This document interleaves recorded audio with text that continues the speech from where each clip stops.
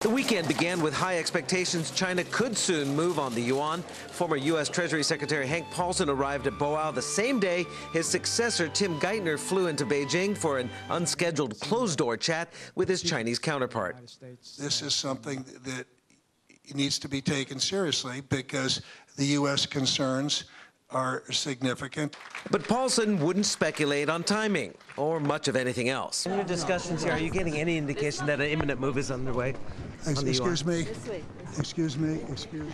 China's central bank governor Zhou Xiaochuan was here, and he too, along with U.S. Undersecretary of State Robert Hormats, wouldn't bite when asked directly if the yuan was going to be revalued anytime soon. I'm sorry to say that I think this is not uh, a, a right uh, uh, occasions to discuss the exchange rate policy.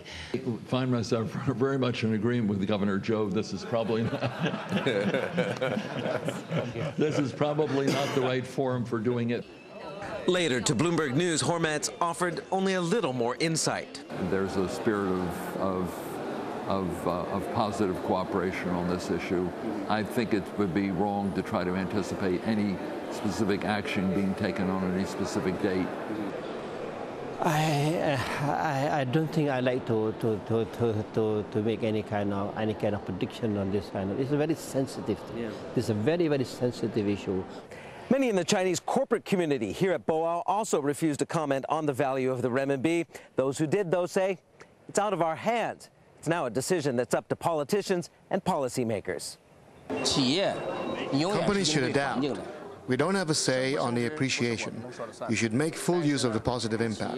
For the negative impact, try to minimize it with technological innovation and increased efficiency. It'll be gradualist.